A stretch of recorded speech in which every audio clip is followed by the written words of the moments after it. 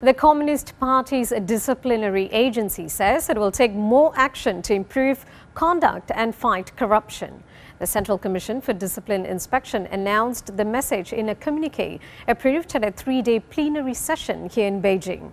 President Xi Jinping addressed the meeting saying strict party governance would be needed to fulfill the development goals of the next five-year plan.